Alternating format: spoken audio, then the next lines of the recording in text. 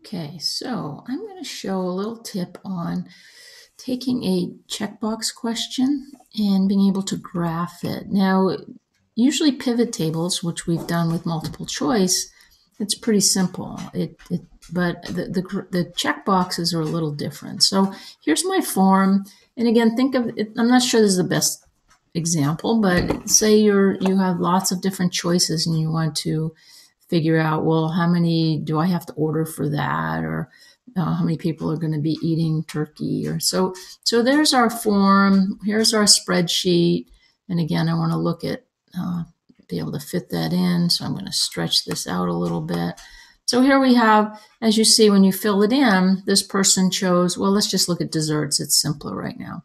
Three options. You know, this person wants to eat all of this. So say you want to add up all the apple pies.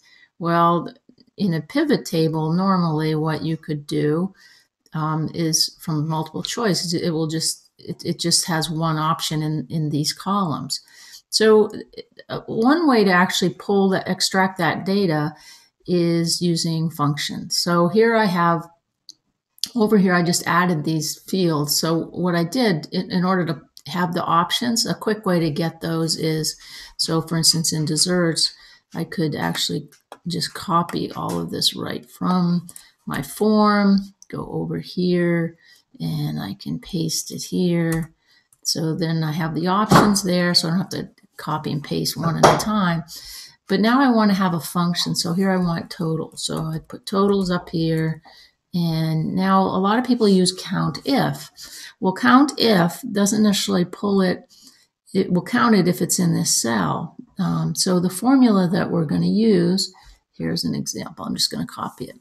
If you take this formula, so if you look up here, it's count if, again, if, we'll change the column, um, and, but it's, it's con concatenate as well. Um, whatever, I'd have to look that up, but, and it has some little um, um, calls here. Again, you have to have this uh, so I'm going to actually copy this and I'll put it in in this cell as the formula. But as you see, it's pulling cheesecake. So what I want to do is I want to change that to pumpkin pie.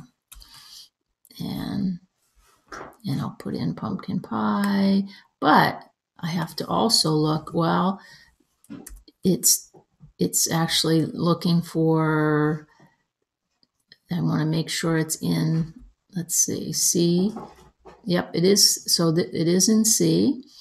And now I did it to 40, but say if you had a lot of other people filling it out, you might you might just continue that.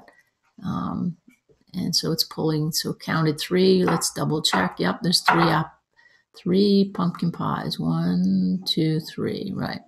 So what you could also do is go down here and I'm going to have to change that to apple pie. So I'm sure there may be another way to do this, simpler.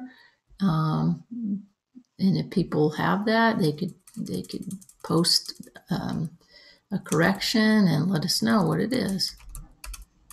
And here we go, ice cream. So I'm going to make ice cream. So I've just adjusted what it's pulling uh, ice cream. And, and sometimes copying pasting is better because you could have typos. Now, something happened that's not correct because I have more than, um, oh, you know why? It's only pulling it from 5, C5. I actually want to, see, dragging it down probably wasn't a good idea. Um, oh, let me close that. Um, because what it did, it, it didn't copy the whole thing. So you want to make sure it's it's C2. So it's from all the way from here to heat all the way down this, this column. Um, so now that I have the totals, I can graph it. So again, you just select that area. I mean, I could, and click on the little chart. And here you could switch rows and columns. You might do it this way and use headers. So now I have a little graph of how many I'd have to order or the and you could also adjust and customize your charts over here as well. So, so that's a quick way to, again, pulling data from a checklist um, form in Google Forms.